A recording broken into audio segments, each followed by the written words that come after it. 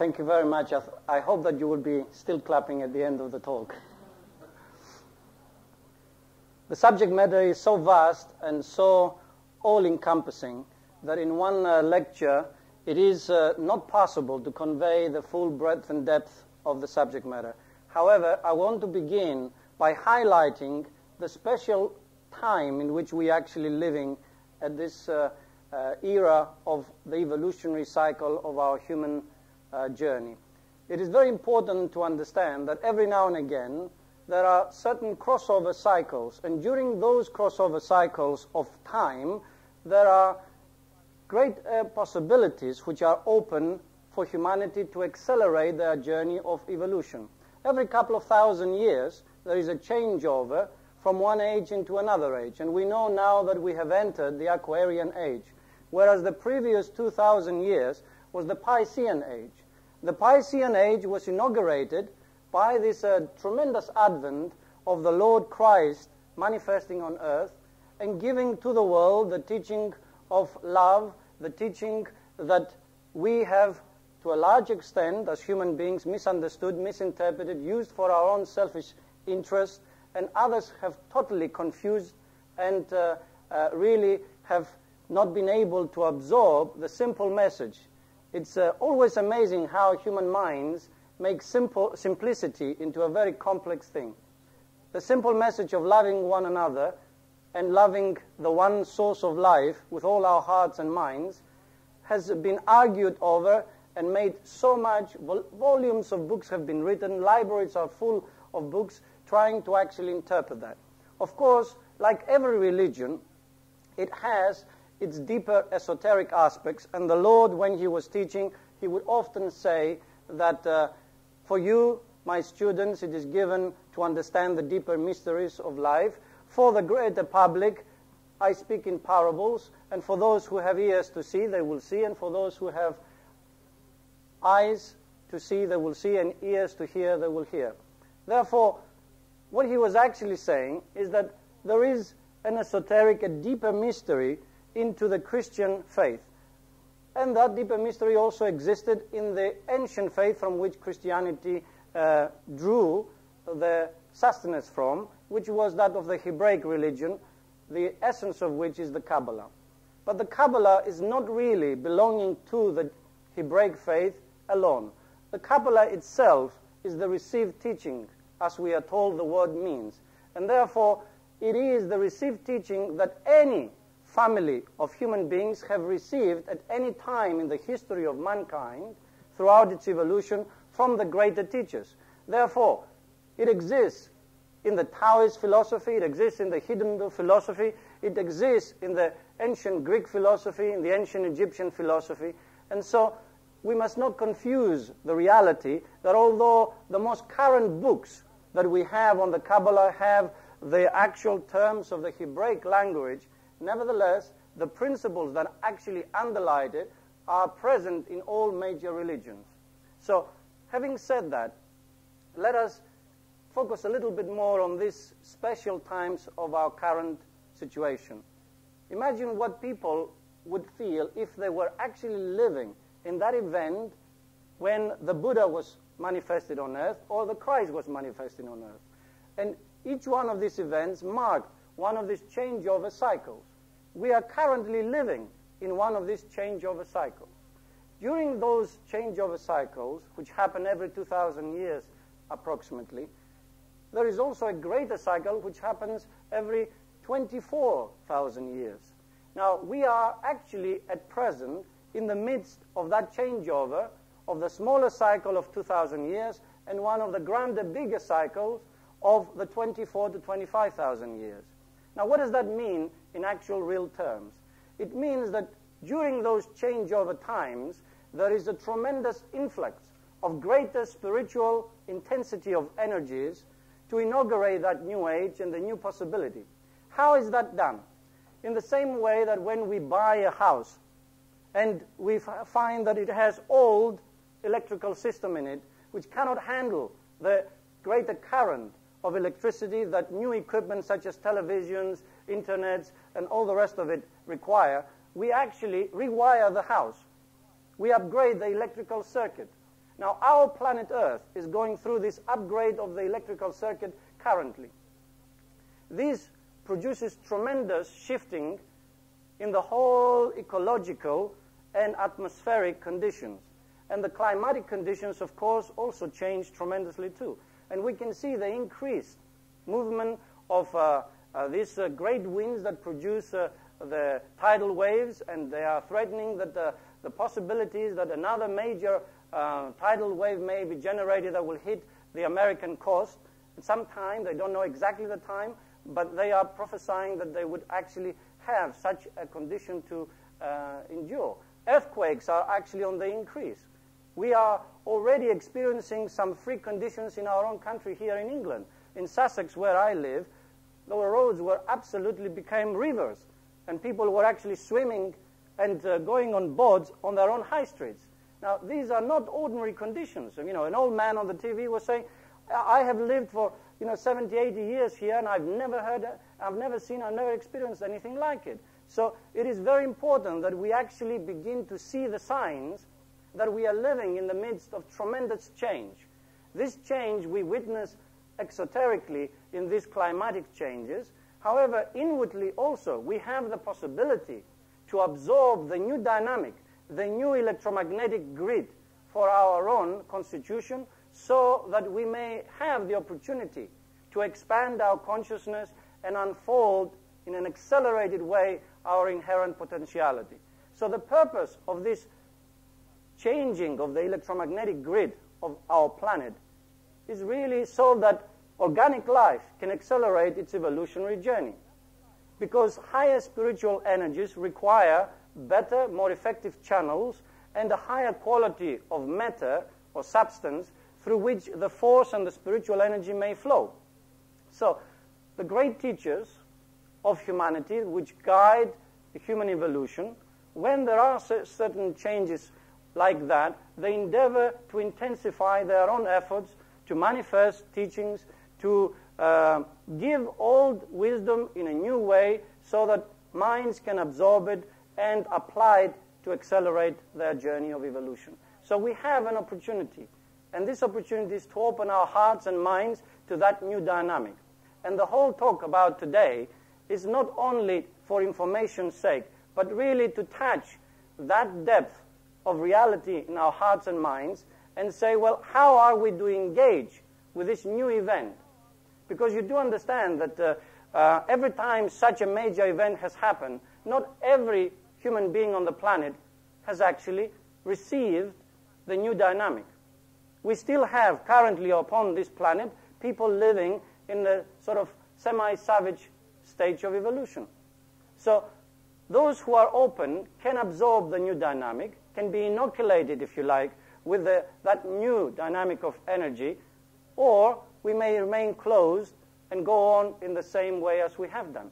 So there is a natural evolution on a major river of evolution that all humanity is flowing. However, if we are able to absorb this greater intensity of energies, then we can accelerate that evolution.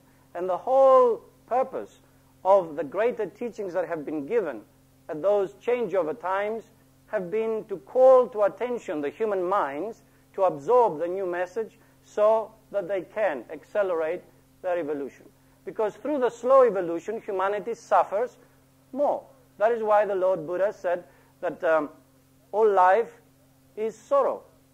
Because constantly we may build beautiful things and time tears them down, shocks of existence, of sickness, and all manner of other things teach us that life in the material world is suffering.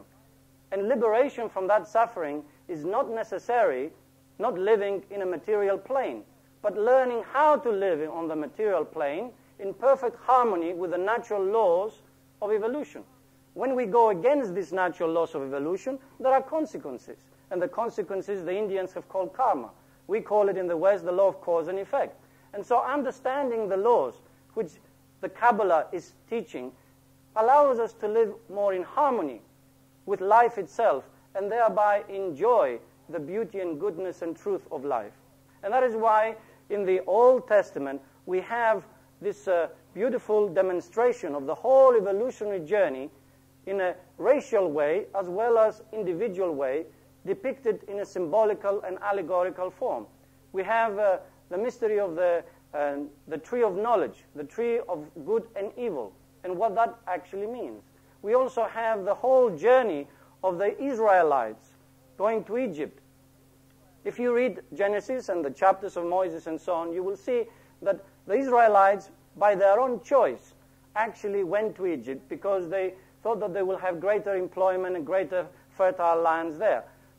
That symbolically means that consciousness, spiritual consciousness, goes into the material plane by choice. And the material plane is symbolized by Egypt. But then, by virtue of becoming immersed in material substance, it actually becomes engrossed and enslaved in it. So the enslavement of the Israelites symbolized that enslavement of the spirit consciousness in matter. After a period of time of that enslavement, there arises the consciousness of wanting to be free, to liberate our, ourselves from that limitation that matter puts upon our consciousness.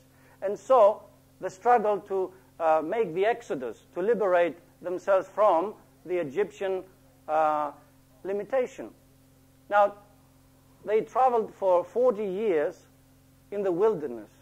And it's a bit like that. We get a glimpse of wanting to be free from the material limitations, but then we have to seek to find the truth. And we seek the truth here and there and everywhere. We go through the supermarket of religions, the supermarket of ideologies, yes, and we look for one or other. So this is the journey in the wilderness. And then we have to make the conquest of the Holy Land. The Holy Land symbolizes that higher state of consciousness, like the Israelites did. And what is the first city that they actually attacked? The first city was Jericho. And they went around Jericho seven times. And Jericho means doubt. And so the first thing that we have to conquer in ourselves when we get a glimpse of something spiritual is the doubt. Because our minds so tainted by the materiality of life do not necessarily accept the hint, the silent voice of spiritual suggestion. And so we doubt it. and we have to conquer that doubt. And having conquered that doubt, the Israelites then went after the next city, which was called Ai.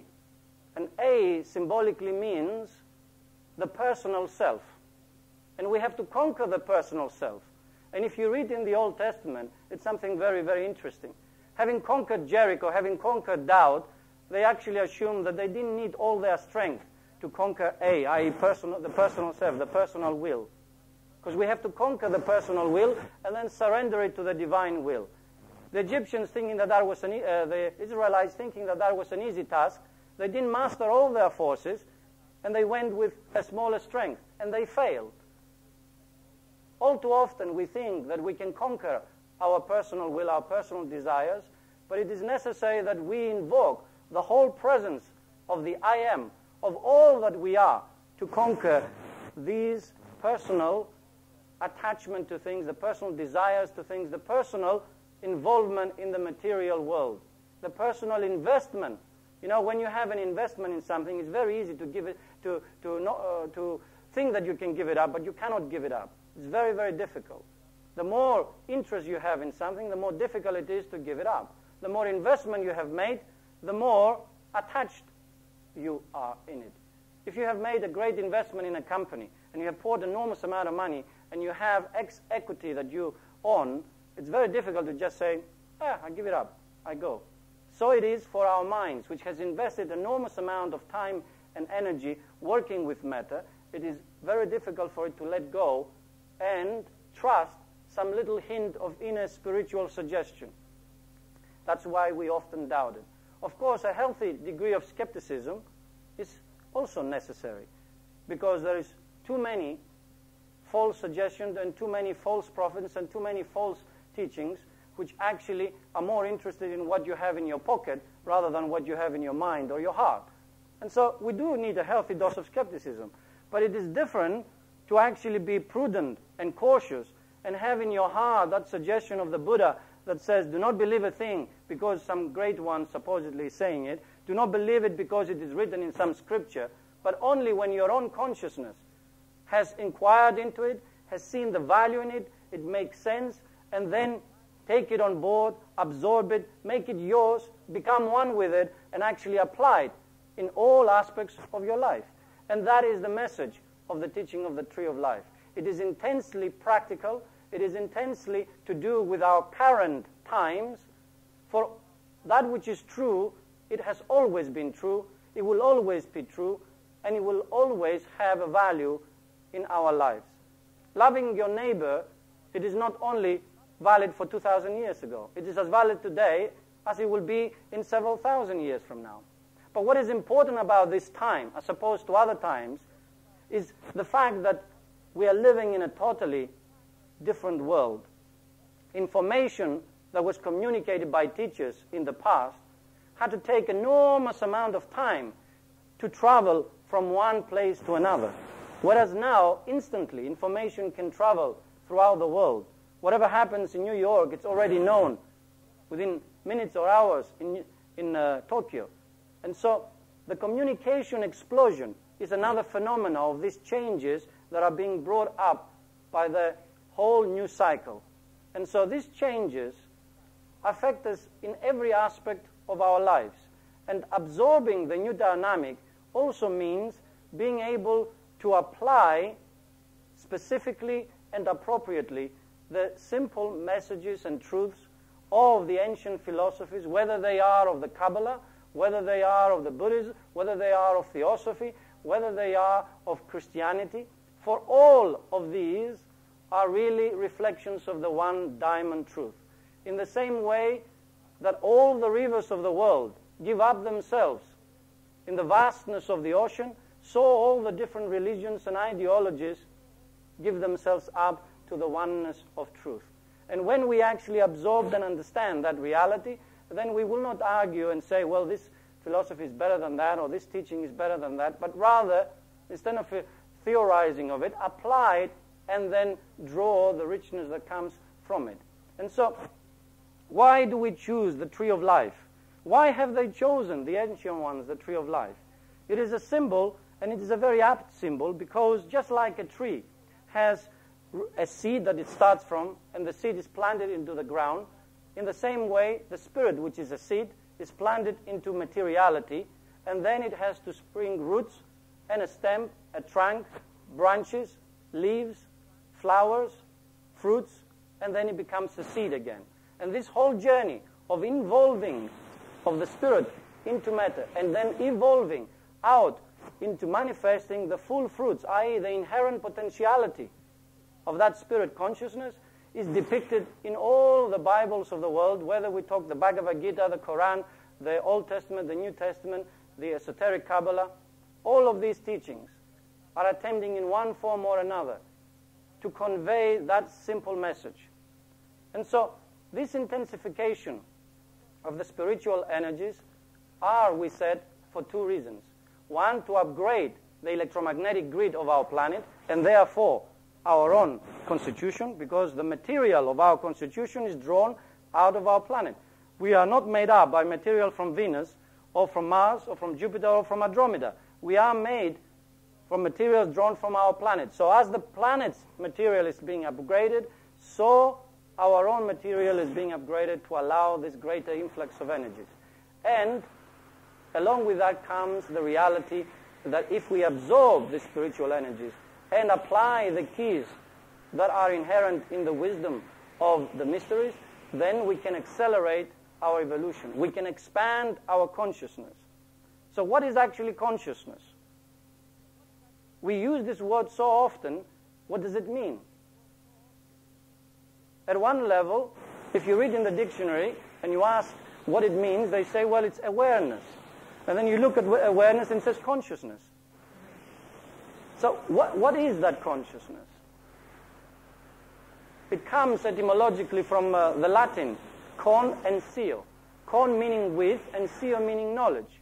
So that with, with which we know implies from the Latin word.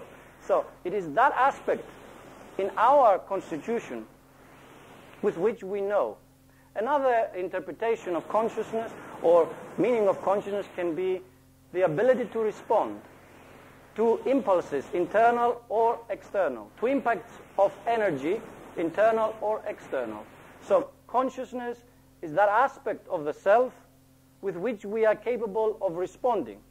So consciousness exists at every plane of manifestation, from the atomic up to the absolute, because it has emanated as a seed, we said, from the absolute, from the source of all, descended into dense materiality, and therefore the omnipresence of the oneness of life, or, or God symbolically, is in the dense materiality as it is in the finest spirituality. And so we have atomic consciousness, we have chemical consciousness, we have instinctive consciousness, we have sentient consciousness, we have intellectual consciousness, intuitive consciousness, volitional consciousness, cosmic consciousness, universal consciousness, and absolute consciousness. Ten levels of consciousness. And within those levels of consciousness, all aspects of consciousness are actually included. And these are the ten spheres of consciousness. One, two, three, four, five, six, seven, eight, nine, ten. And what it means when we say about expanding our consciousness, it means that we can incorporate in our consciousness more of the influences and potentialities that belong to these other realms of consciousness. So if spirit consciousness is in the dense materiality, it's symbolized by this earthly sphere. It's called the earth sphere, meaning the earth substance, the densest point of manifestation of the spirit consciousness.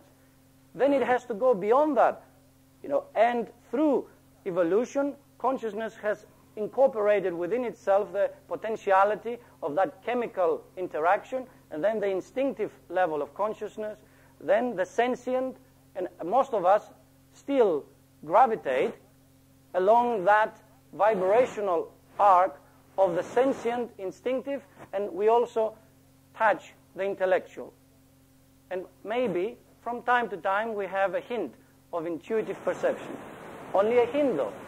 So expansion of consciousness means to actually expand our consciousness to incorporate the potentiality that is inherent within the intuitive state of consciousness as an everyday occurrence, to live the intuitive way constantly. And living in the intuitive way constantly, it means not to have to argue about whether this is right or that is right. Because the mind, the intellect, has to actually have proof and it has to actually have the, the facts and figures that confirm a certain statement of truth. Whereas intuition has the capacity of seeing the reality as is without having to have the evidence. And that is why so many times sages and wise advanced beings who have attained that state of consciousness in an earlier cycle of evolution are able to speak about truths and prophesy matters that science, through the intellectual application of their consciousness, finds out much later. And so, expansion of consciousness is simply raising our center of gravity in our consciousness from a lower state into a higher state. And so, other teachers may call it the raising upon the planes of consciousness.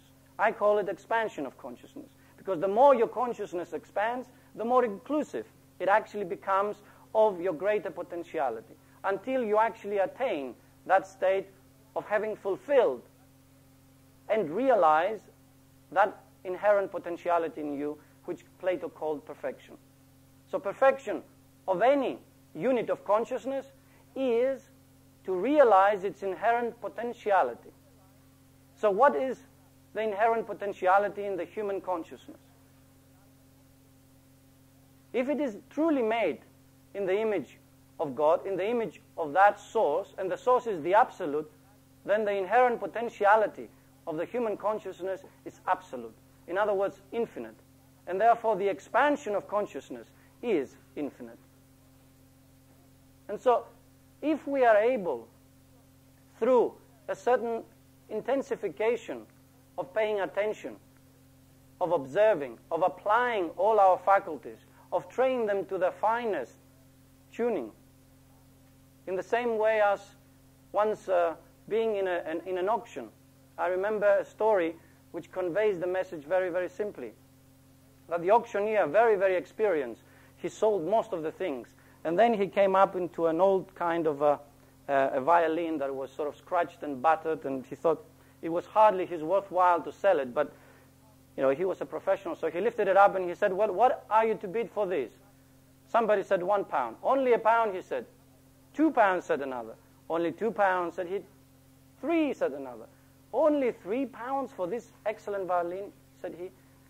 And then, just as he said only once, twice, and just about when he was to say three times, a gray hair, beautiful lady came in, picked up the violin, tuned it a little bit, dusted it, and played a beautiful sound.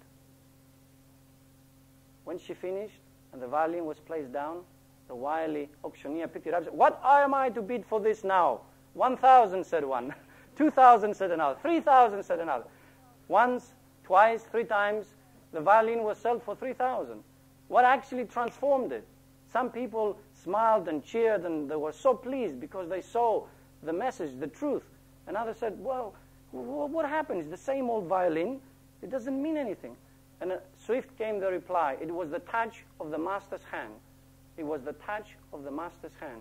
And so this old violin that we have, this old physical form that we have, this old emotions that we have, this old mind that we have, filled with all manner of things, what it needs is a little bit of tuning, a little bit of dusting, a little bit of polishing. It does not mean to throw it away and get another one. That's what we do every time we wear it down, we don't attain very much, and then we come back to get another violin, to start all over again. That's what incarnation is all about. So why come back again to learn the same lessons, to suffer the same things, to have the same pain? It's very boring. Life is not meant to just repeat the same mistakes, the same lessons over and over again. Life is meant to actually be, live, be lived in the edge, to be lived in the vigor, to constantly reveal greater aspects of the unknown, greater aspects of that absolute to come into manifestation, to expand our consciousness and realize more of that inherent potentiality of the absolute, not to repeat the same lessons. So, how are we going to tune and dust and polish our physical form, our astral and mental form? Well, the first step is to recognize that it requires that. Because all too often people assume that they know it all. And if you know it all, how are you going to really hear or absorb anything of value from another? Is to accept that we all have our varying degrees of limitations. We all have our varying degrees of ignorance. An expansion of consciousness is also, in another way, means to expand the limitations of ignorance, to go beyond the limitation of ignorance, to break those limitations, to break the chains of ignorance, and to be free. We think we have free will. How much of our free will really is being exercised? Because most of the time we are governed by the instincts and by our desires and by our senses, and that whole sensual experience controls enormous amount of our living and thinking and way of life. And so where is the free will in that? Truly free will comes into being when not only have you recognized that your, your constitution requires polishing and tuning, but have begun to engage with the process of refinement, of integration and alignment so that it becomes surrendered then to that innermost divine consciousness that you are, to be played by the beautiful musician, which is your divine consciousness. And so, what is important is first of all to acknowledge that our instrument needs tuning.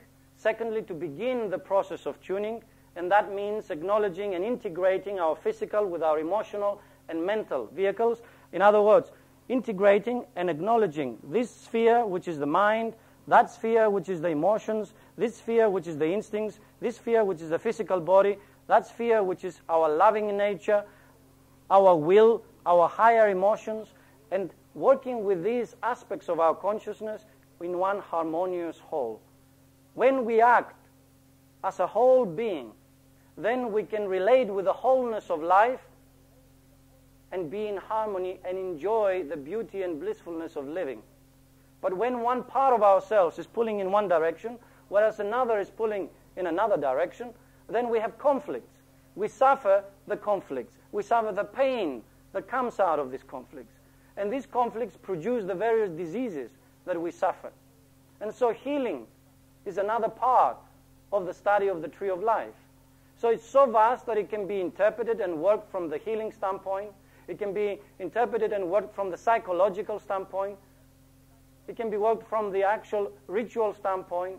It can be understood from the standpoint of the metaphysics, from the standpoint of the science, of the different arts that exist. So it is actually all encompassing, and all of these can be incorporated within the study. They are the different branches of the tree of life.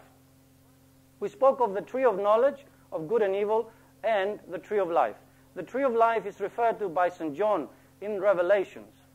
And he says that he who eats of the fruit of the tree of life shall know no longer suffering, shall know no longer darkness and light, shall know no longer all the ignorance that symbolically night is referred to, and light meaning the spiritual knowledge. For he shall be at one with the source of all knowledge. So the tree of life is the symbol of oneness. The tree of knowledge is the symbol of duality and separateness. If your consciousness is attached to the principle of separateness, then it will produce more of the children of separateness and therefore suffer the consequences of that. However, if your consciousness begins to vibrate in tune with the principle of oneness, then more of that unifying principle will flow through your heart and mind and manifest that at one man in your consciousness that is in perfect harmony, that is able at any one time to see the good, to manifest the good, to see the beautiful, to express the beautiful, to know the truth and live in the true way. And so, when we, in the earlier stages of our involution, had to separate from the oneness, the force of separateness was absolutely perfect. Because the force of separateness is not evil, it is an absolutely divine force, just like the force of unification is a divine force. And Kabbalah is endeavoring to explain and convey that message. But what we need to do is to realize that the force of separateness needs to be used where it belongs and where it, it is appropriate to be applied. Because when you take the force of separateness out of where it belongs and you apply it where it does not belong, that is where evil comes in. When unity, when togetherness, when group consciousness, when the spirit of cooperation is what is needed, and someone deliberately brings dissension and brings the spirit of separating so that he can rule, that is where the evil comes in. When a dictator separates into different uh, pockets and makes one fight the other so that they can be weakened, so that he can constantly control them, that is evil indeed. But the separating force is necessary. When a fruit ripens, it must be separated from the tree, and it falls down and then becomes the very substance from which the tree draws to grow the new cycle of fruit. And so life moves in this rhythmic motion from the center to the periphery and back to the center again, i.e., from seed into the unfolding of the whole tree and fruit and back to seed again. And we can see the reality of that in our own constitution. The roots is the physical form, the trunk is our astral form, the branches is our mental form, the leaves is our emotional nature, the actual fruit is our spiritual nature. And the seed again is our divine inherent consciousness, the divine inherent God, the God immanent within us. And this is also existing in the cycle of all humanity as well. There is the savages of the world, and these are the roots of the tree. There is the civilized human beings, which is the trunk of the tree. There are those which are the talented individuals, which are the branches of the tree. There are the saints, which are the leaves of the tree. There are the advanced initiates of the world, which are the flowers of the tree, and then there are the perfected beings, such as the Christ and the Buddhas and so on, which are the true seeds, which have re- completed that cycle of evolution upon this planet. And so we are in that process of actually having evolved into matter, now evolving out of matter. And so what belonged in the journey of involution is contrary to this journey of evolution for us. And so, how do we actually differentiate the forces of involution from the forces of evolution? Well, all your jealousies, your hatreds, your actual uh, uh, forces of uh, um, anger and fear, and all of these, all of these are actually forces of separateness. All of these are only a phenomena of the illusion that you as a consciousness is separate from the source of all potentiality, of all power, of all goodness, of all truth that is life itself. Life is the source of all and everything. You cannot show me, imagine, or think anything that has not emerged out of life itself. And so, if life is the source of all, and you are life, then the source of all and everything is in that which you already are. And any message of a true teacher is always to guide human beings to realize that inherent potentiality in the life that they are. And so, essentially, what we are talking about in the tuning of the violin and the dusting and polishing of the violin is realizing that these forces of separateness in ourselves they are not actually to be suppressed, to be denied, or to be indulged in. But they are the very raw energies, the raw materials, which the tree draws out of the earth, and then by transmuting them and transforming them, produces the beautiful fruit. And the teaching of the tree of life is that science and that simplicity which allows a student or a human being who takes on board those principles and applies them to bring about that transmutation in his own living tree of his raw materials, which are those jealousies, hatreds, and angers and fears, into the beautiful, compassionate energies of love, of compassion, of tolerance, of cooperation, of will for the good of the whole, and so on. So, how do we bring about this transmutation and transformation? In the first place, we need to realize that we, that process must happen in the whole of our nature. And our nature includes the physical, emotional, mental, and spiritual. For these forces are reigning in all of these four worlds. These four worlds of our physical, emotional, mental, and spiritual nature need to become beautiful, good, and true. In other words, to unfold in those four worlds our three divine attributes of consciousness which is the energizing principle of the will, on the one hand, the beautifying principle that fuses in a harmonious way all things, which is the loving energy in us, and the differentiating principle, which is our mind, that analyzes and breaks things down into absorbable, uh, digestible pieces. It's like a menu. It's like a, you know, when you go into a restaurant, you have a whole menu, and uh, you know, if all of it was to come in front of you, you cannot eat it all at once. You have to eat a little bit at a time. And so the mind breaks down the wholeness into small portions that can be digested and can be absorbed. And so we need to realize that within the tree of life, this also is present. These three pillars, from the top going down to the bottom, the middle one and the one on this side, these symbolize these three attributes of our consciousness, i.e., the will, which is the energizing principle, the love, which is the cohesive and unifying principle, and our mind, or the differentiating principle, which analyzes, classifies, and separates. And these three attributes of consciousness have to be perfected in our four worlds, i.e., the physical, emotional, mental, and spiritual. They have to manifest and unfold the perfect beauty, goodness, and truth of their own inherent potentiality. But there is a problem. What is the problem? That they are being resisted.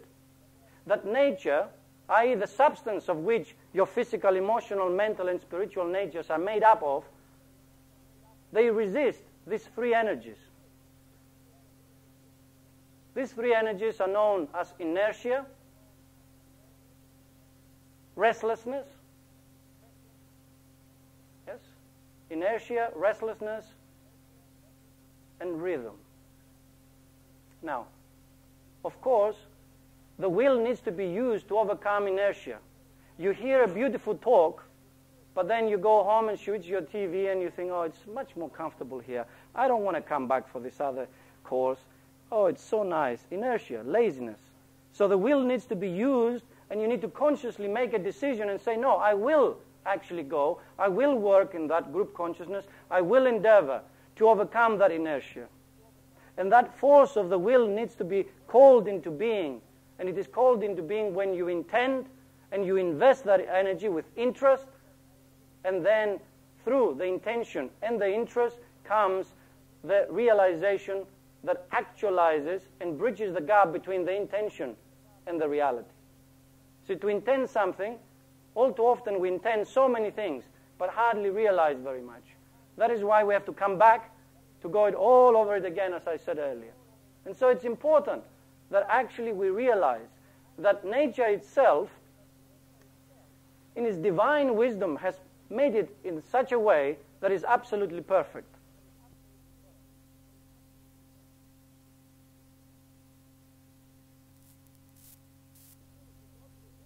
Things did not resist us, then we will not call out of the depths of our own being the great energy that is required to overcome that resistance. Do you see how beautiful it works? And so the very resistance helps us to grow. If everything was just easy, we will never know who we actually are.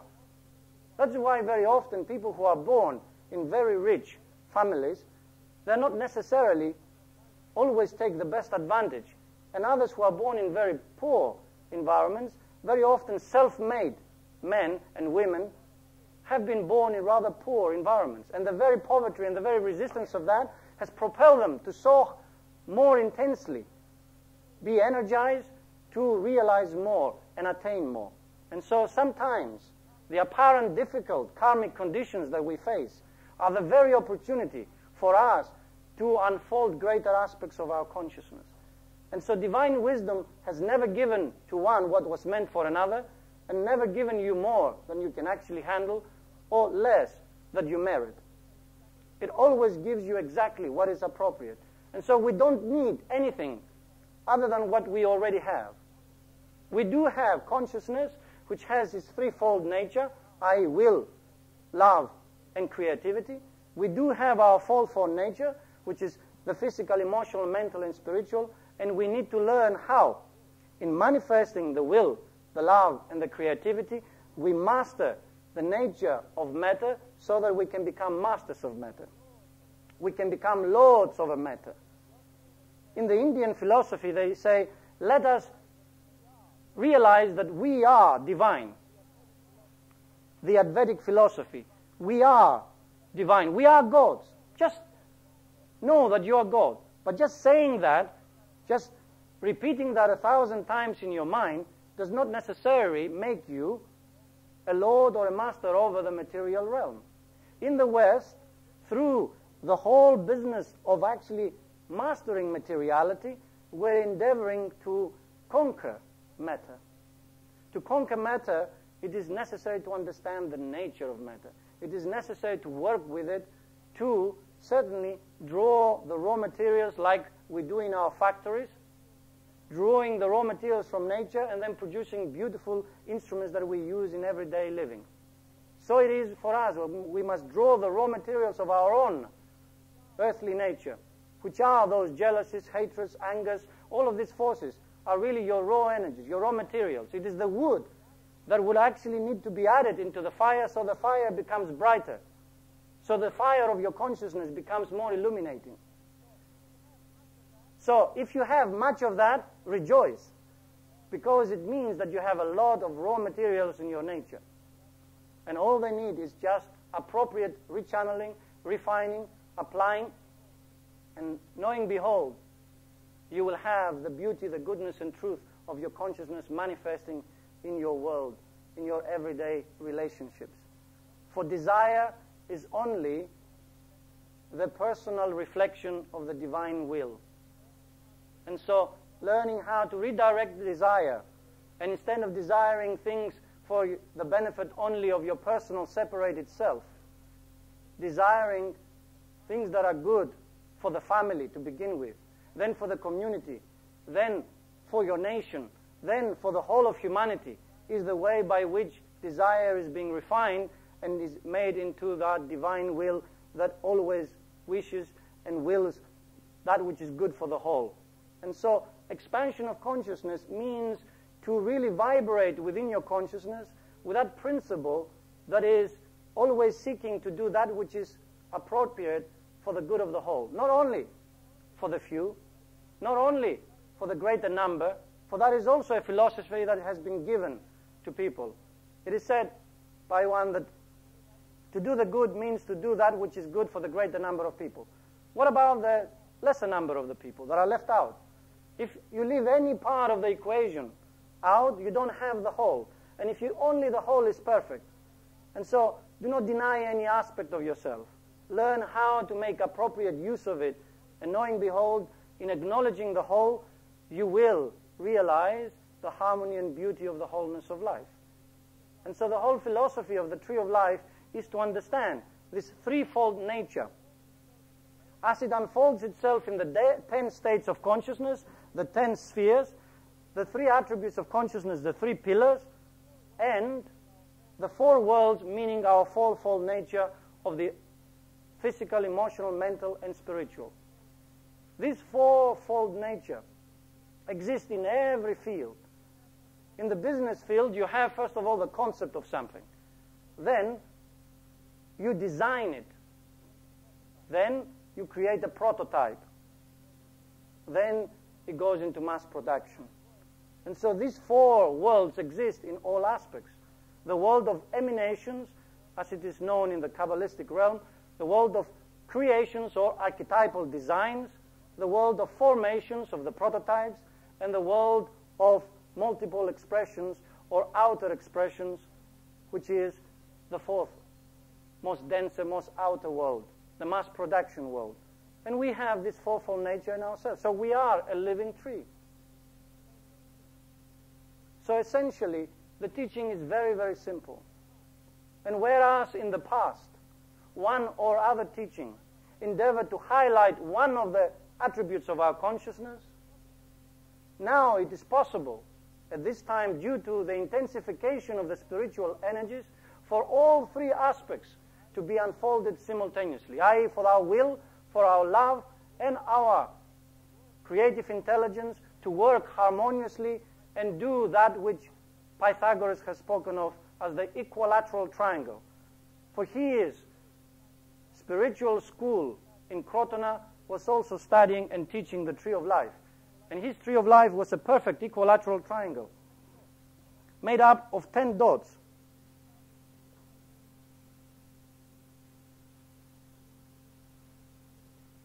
One, two, three, four. So, uh, this should be a little bit there. Yeah?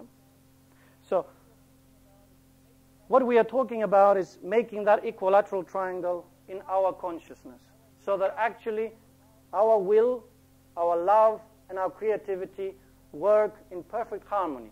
So we don't have the attitude of a bully or uh, a, a, dictator, which is too much will without love and without creativity. Or we don't have the overcritical personality which doesn't have the love and it doesn't have the will, but is very, very critical. It can always see what is actually wrong in the part, but it cannot see what is good in the whole.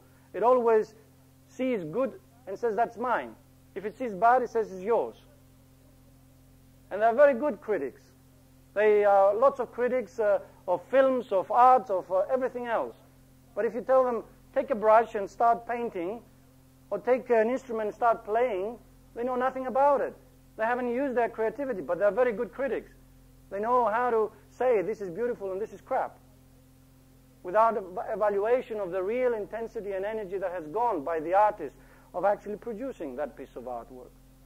So what we are talking about is learning how to bring these three energies into perfect equilibrium so that what is appropriate is manifested where it's appropriate in perfect harmony. A person who has to, you know, a lot of love, but he hasn't awakened the will and he hasn't awakened the creativity, is uh, full of lovey-dovey, sensing the, the, what is wrong in the world, sensing the pain, the suffering, but they are totally ineffective. They can't do very much. And there is so many of those in the world which sense what would be like if only, but they don't know how to engage with it. And so it is necessary that we balance these energies. We learn how to be willful, but in a loving and creative way. To be creative, but with plenty of energy to fulfill that intention that we have and fulfill and actualize that creative idea that we have. And we need the loving energy so that we do it for the good of the whole, not only for our separate self. And so all of these concepts, all of these realities belong to the teaching of the tree of life and the whole course that is to come and the uh, day event that is happening on Saturday. It's really to put into practice some of these ceremonial and rituals through which we build greater intensity of these energies in our consciousness so that they become easier. It's a bit like a habit, you know. It's easy when you have a habit to just keep repeating it. It comes naturally. You don't have to work very hard to actually be habitual. It's very, very easy. But at some point, you did work to create that habit, and then it becomes automatic. Well, part of the journey of evolution is to learn to actually create beautiful habits, which are known as virtues, which are known as creative ways of living, harmonious ways of living. And certainly one who has attained that state of equilibrium is full of compassion, living compassion, that serves for the, for the good of the whole and does all things for no reward. Is one who has wisdom, which is skill in action. Is one who has universal vision because he sees that all are fragments of the one and sees in the diversity the unity of life, as Theosophy has put it. For Theosophy was the inaugurator of this great age, the harbinger, like St. John, who spoke about the Messiah that is coming 2,000 years ago, just before him. So Theosophy was the harbinger of this new age. And Theosophy endeavored to highlight this principle of the fusion and synthesis of the will, the love, wisdom, and the creative intelligence. And throughout these 2,000 years that will unfold before us, these threefold aspects of our consciousness will come to manifest that which imagination cannot even imagine now. Will come to manifest faculties which will be absolutely, tremendously only considered now as uh, uh, happenings from aliens. Teleportation will come to be part of the everyday living. Telepathy will be an everyday living occurrence. Certainly, knowing what is in the heart, in the mind of another, will be a natural thing. Not, you will not need to cast uh, a few stones, called the runes, to find out what is going to happen tomorrow. You will not need to go to your astrologer to cast a chart so that you will know. Intuitively, you will know. What a new race will that be? Not made up out of black people or yellow people or blue people, but of people of all the races of the world. A race that incorporates the best of all and has left behind that which is already bypassed itself by date, so to speak. You No, there is a psychological attachment to holding on to things. We hold on tickets even after we already have used them, gone on the plane, gone on the bus, they're still in our bags, in our handbags. It's true. And it's the same with some of these forces in us. They no longer belong in this evolutionary journey. They were perfect in our evolutionary journey. We need now to let go of all the habits that belong with them and actually create new lines, new grooves, new designs, new perfect ways of interconnecting our brain cells so that we can manifest that new dynamic that is coming upon us. Let us open our hearts and minds and meet this new dynamic. You can say yes to it today. Begin the process today. Don't leave it for tomorrow, as we very often do. This is why the Christian fathers, they thought human nature is such that we must take away reincarnation out of the biblical terms, because otherwise they will all say, well, I'll do it next lifetime. So, in their wisdom, they did that for a good purpose. But unfortunately, one good thing, when you don't see the whole picture, produces another bad thing. Because what it has produced is the fear of death and the tremendous suffering that comes from, from that. And uh, they compounded that with a false philosophy that, uh, you, you, know, if you don't uh, do as I say, you go to hell.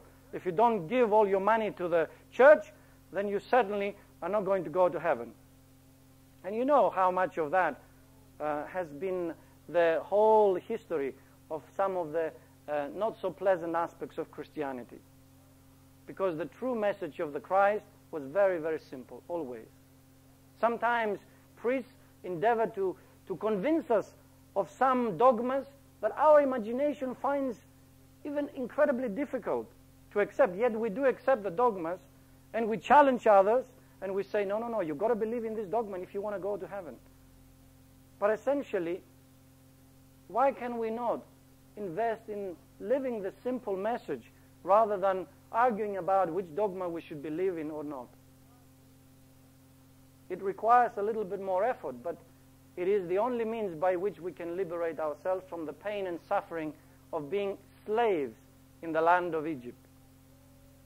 Israel and the Israelites are all the human beings who want to live in the light, in perfect harmony with the law, in perfect harmony with the oneness of life.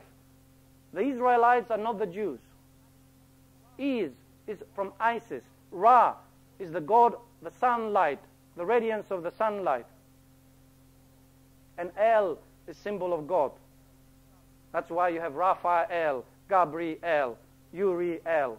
And so the Israelites were those human beings whose hearts and minds were open and ready to receive the truth, the true message, ready to be uh, shown the way to live in harmony with the law, ready to be liberated from Egypt, i.e., from dense materiality and the thraldom and slavery of materiality. Matter is beautiful when you are a master of it when you are a lord over it. And there are such beings living today who have mastered greater aspects of that material plane, such as one in India living today, Sai Baba. You may have heard the name, a very wonderful being, done tremendous work for the benefit of mankind, many hospitals and all sorts of wonderful things. I'm not a devotee of Sai Baba, but I am a devotee of every human being who does what is good for the whole.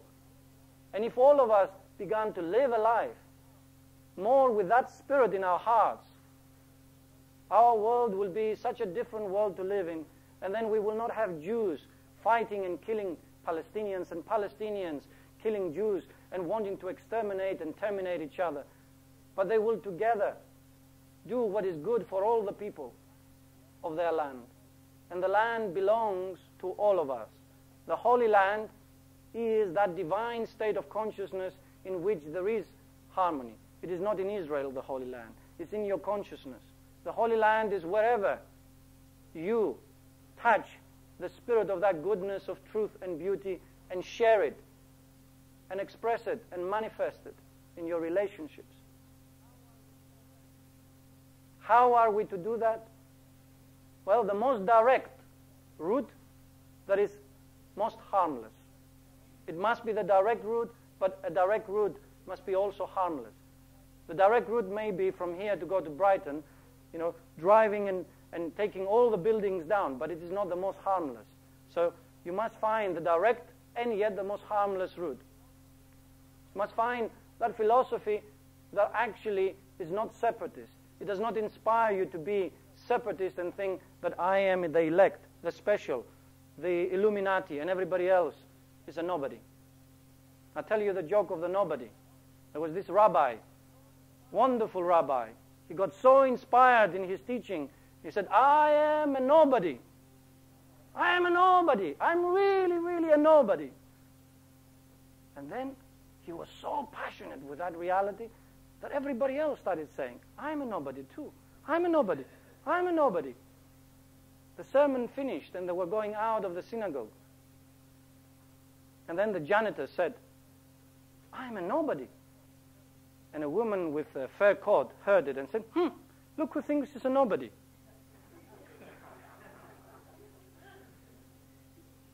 we like to make labels of things. We like to make labels of things. Even a nobody became a label. Let us not make a label of things. Let us not make a label of Kabbalah. Let us not make a label of theosophy. Let us not make a label of love. Let us live the simplicity of life.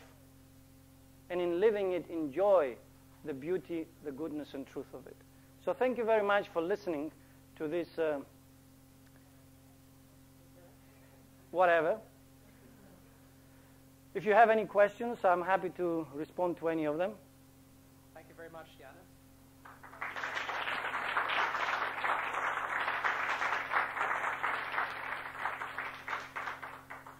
How much shall we give him out of 10?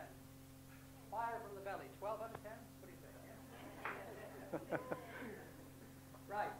Uh, anyone who has questions, we take you first. Anyone who has comments, could you come later? So, questions first, anyone? Yes.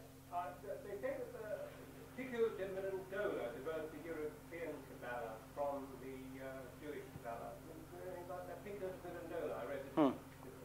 Well, there are many students of the Kabbalah who have added. Maimonides was a, very, very good student of uh, Kabbalah in Spain uh, in the 1200s, who actually gave a wonderful uh, teaching. Um, Abulafia is another individual who gave tremendous uh, impulse to the Kabbalistic uh, tree of life. You know, every student who comes to the study of the tree of life adds his own creativity, his own perceptions, his own interpretations. And so the tree is actually a living tree constantly. Constantly it is actually added to, and constantly it grows and expands. And every student who brings his perceptions and his interpretations of it adds to the whole content of the tree of life. It's so vast. Its uh, libraries are full of it. But uh, really, the people that made it more public is this organization known as the Golden Dawn. Yes? You may have heard of the Golden Dawn organization in the 1800s. MacGregor Mathers. Uh, yes, yes. Late 1800s, early 1900s, yeah. So MacGregor Mathers and uh, Waite and uh, uh Dion and uh, all of, uh, yes, and, and Dee and all of these individuals, including even Aleister Crowley, our good friend who in some way got caught up in one of these safe houses. He thought it was a safe house called drugs. And he played around with it and lost his way in that. Yet he actually inadvertently served the human uh, uh, thirst for knowledge because he published the lot of all of that uh, apparent secret knowledge of the Kabbalah that was in that organization of the Golden Dawn given by teachers in the invisible realms. See, in the old days, Kabbalah was taught from student to student, from master to student, in a very much oral way. Yes? So you had the literal Kabbalah, you had the practical Kabbalah, you had the dogmatic Kabbalah, and you had the unwritten Kabbalah. This unwritten Kabbalah, a lot of it has already become known now and is published in many books and many uh, papers. And Crowley was the first who actually started to publish all this material. So he did some good in that way. But a lot of uh, his uh, material is tainted by this vibration of his uh, um, lost way in the realm of drugs and in the realms of uh, uh, self-will rather than the will for the good. Do as thou wilt was his God. Yeah? Yeah, do as thou wilt, but there is a law. And the, and the doing of as thou wilt has consequences. And it's called the law of cause and effect. Yes? So as you sow, so shall you reap, says St. Paul. And perhaps that simplicity of the law, Crowley did not uh, take into account.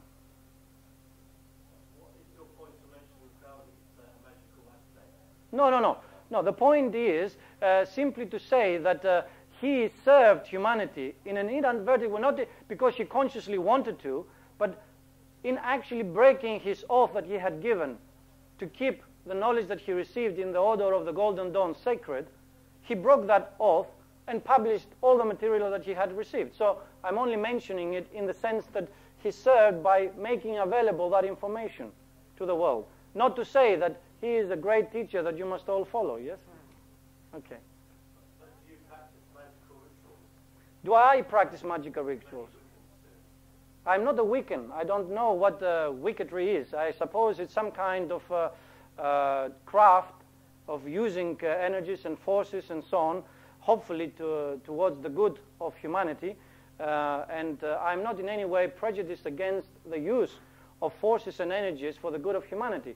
But if we use forces and energies to manipulate the minds of others to serve our own selfish designs, then yes, that is inappropriate.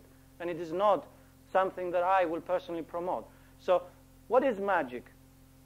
Magic is a conscious use of energy and force to facilitate the manifestation of the good and the beautiful. And divine magic is manifested in the magnificent harmony of the universe, of all the great heavenly bodies. So the divine magician is the God, the source within. And we can be also divine magicians if we manifest the magic of goodness, of truth and beauty in all our relationships. So yes, I am a magician, but in that respect, not in the respect of going uh, in the middle of the night in the forest and wanting to, to do something uh, that uh, will, excuse me? That, that would actually in some way uh, make me more powerful than you so I can manipulate your mind to serve me or anything like that. So that kind of magic is black magic. It's a magic that uh, wants to separate again, wants to be a servant of separateness, a servant of uh, uh, superiority and inferiority, and that is not the way of evolution. That is belongs in the past. Those labels are no longer of value in our current time. Yes. Yeah, it's a little bit more comment than question. Is that all right? Well, Yeah. yes, all right, okay. Okay. Um, in your um, in your leaflet here, you um, talk about ritual and its value in various areas of life. Yeah, In yeah. your talk, you um, spoke a lot about belief change. Yes. Now it seems to me that the need for change. Yes. Now, it Mhm. Buddhism uh, from Hindu thought. Correct, and, correct. And so on. So um, it occurs to me as well that the um, uh, say modern religious leaders who want to throw out um, liturgy and tradi- traditional ritual, uh, politicians who want to um, change uh, institutions so they're no longer recognizable, people who want to pretend that there are no differences between between countries, um, are actually obstructing Well, I, I, than. Uh, I think it's a very good point. It's a very good comment. Uh, we must not have change for the sake just of change.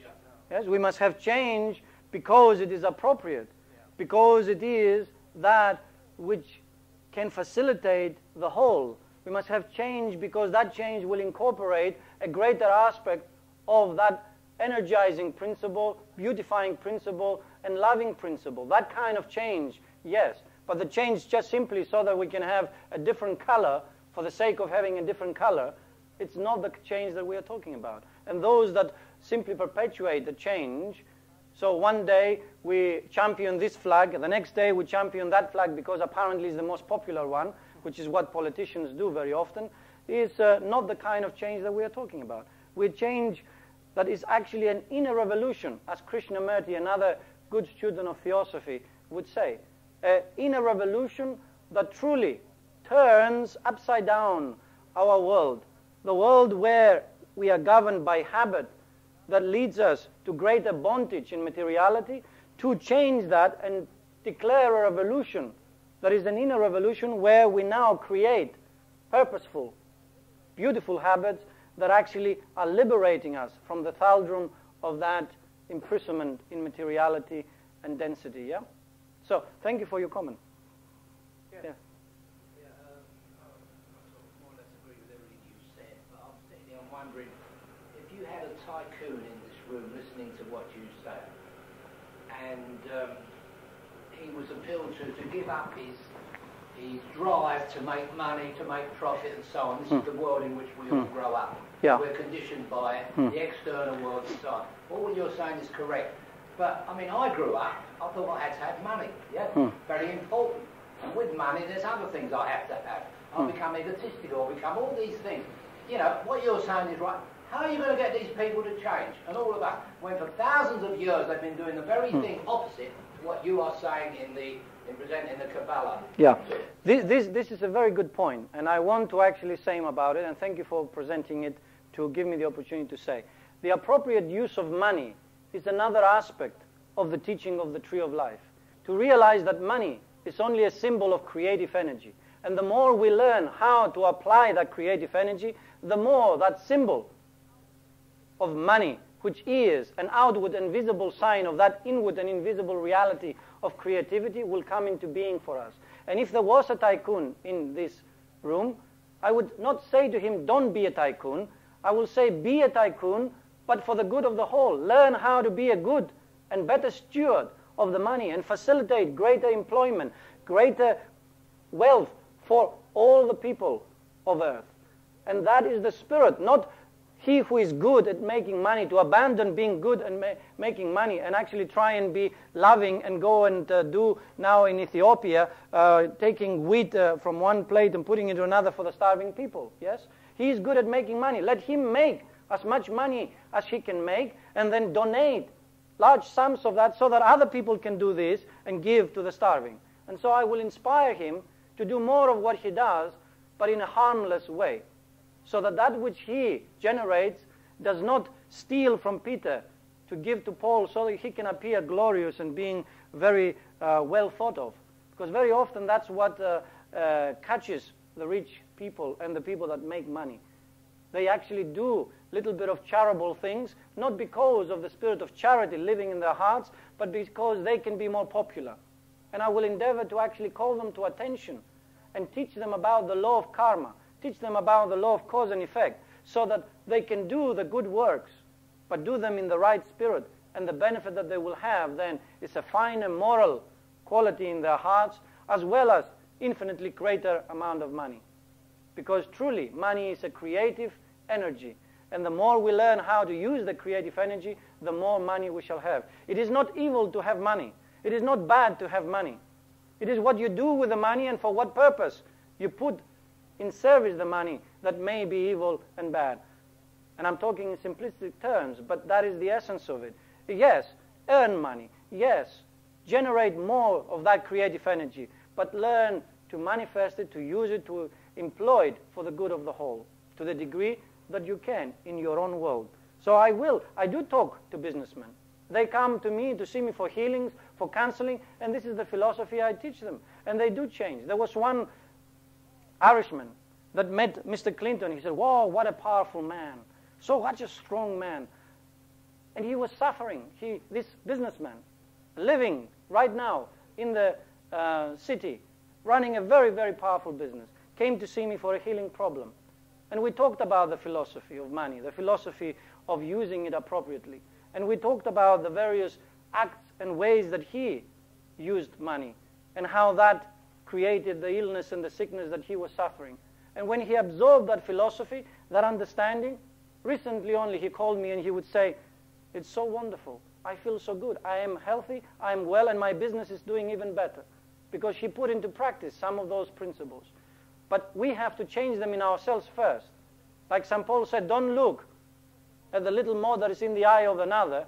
First of all, do something with the, the big stick that is in your eye. In other words, what I'm saying is if each one of us brings about that change in themselves, then, you know, society is made of many individuals, such as you and I. The concept of society is misleading very often. We have to change society. You cannot change society without changing the individuals. Yes? And so each one of us has the responsibility of bringing about this transmutation and transformation in ourselves. Then society automatically change. It reminds me of this uh, concept of uh, uh, Bertrand Russell, that man is in conflict with nature, man is in conflict with another man, and man is in conflict within himself. He has tried to resolve all the outer conflicts, but the more he tries to do that, the more conflicts come about. We have created orders for peace, and we have more wars. We have invested enormous amount of money in having hospitals that deal with all the diseases, and we keep discovering more and more diseases. And he said it is only when the inner conflict, the inner struggle is resolved, then the outer conflicts will come to an end. Because the outer conflicts are only a phenomena of this inner conflicts. And this is what the teaching of the tree of life is. And yes, ritual is necessary, ceremonial practice is necessary. Every time you shake hands, you are actually doing a ritual. You are exchanging energy in that. And if you were sensitive enough and aware, when you hold the hand of another, you will know what he vibrates with. When he, whether he's interested in the money in your pocket, whether he's interested in, uh, in uh, controlling you or using you, or he's interested to just see the excellence in your eye. If we look for the excellence that every human being has attained, I promise you, the world will be filled with excellence. Because every human being has in his heart a touch of excellence, a touch of beauty, a touch of goodness. We have to empower that. We have to see that. We have to see that ideal in the actual condition, which is apparently limited in the temporary here and now. So thank you. Yes. There's a lot of information and books out there. Hmm. Baffling. I've read Golden Dawn about it. Yeah. YouTube. Is there anything that you can actually suggest to us to read?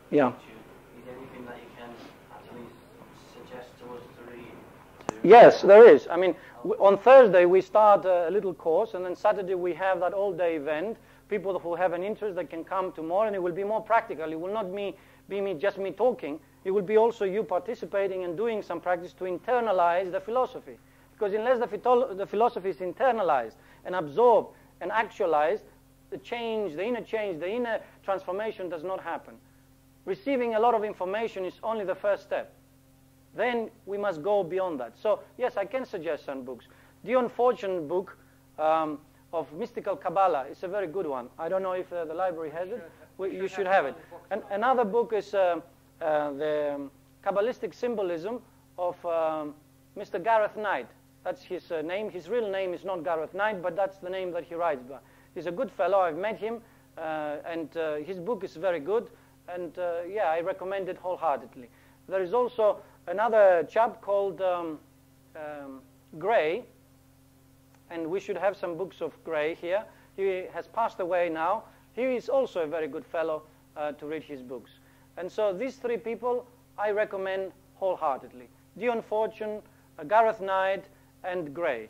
And you will find most interesting uh, uh, ways of presenting the Kabbalah in that.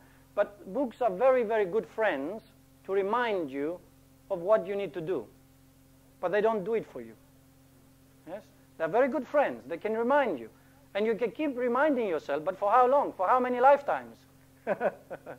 we need to actually do also. And the doing happens when you come to a group which its purpose is to meet and work with the material and begin that inner change and begin to apply that then to take it on board, to meditate on it, to learn it, and then apply it in your relationships with your wife, with your children, with your friends, with your partners, and speak it, even if others will actually think, listen, what's he talking about? He's crazy. I worked in the business, I run an organization, and we had people, and I would go to see other business people, and I will talk about this philosophy, and often they will say, well, it's, um, it's a nice ideal, but it's impractical. It's always some excuse. But I challenge people. I say to them, look, and this challenge I have given to many business people I have met. I say to them, take one quality for one month, and each day you wake up, immediately think of that quality. What does it mean? Bring to your mind certain moments and images of where that quality was present in you or in others. Generate it in yourself, and then whatever you do, making money, yes, being a better wheeler dealer than your next friend, but do it with that quality, and you will see the miracle of change and transformation. And I give them the challenge. Say, in the end of the month, if you do this and you don't have it, then I lost the bet. You win. And I put money on it. And they all have, nobody has ever called upon the money. They have experienced the change. You know what I say? Take the quality of joy. Bring to your mind beautiful joyful moments that you may have experienced or you have seen in a film or whatever, then is, as your mind is absorbing that quality, begin to vibrate with that. Send it out to your friends, to your family, to your enemies, and then throughout the day, have it as a background vibration in whatever you do. And see how much more joyful, how much more smile, how much more of that uh, uh, vibrancy of beauty that joy releases in one's life can be. Do it. I challenge you. I will do the Saturday course for you absolutely for free if in one month you call me and say, I practice this principle of every day thinking about joy, bringing into my mind moments of joy, experiencing them, drinking the quality and nectar of them, and then having it as a background in everything that I do, and I didn't experience any more joy. I didn't have more joyful things. If you do that, I'll, I'll refund the contribution that you have paid such confidence and such energy. Thank, Thank you. you. very much. We've had a wonderful evening, don't you think? I'm sorry, if anyone has any more comments, please. Thank you.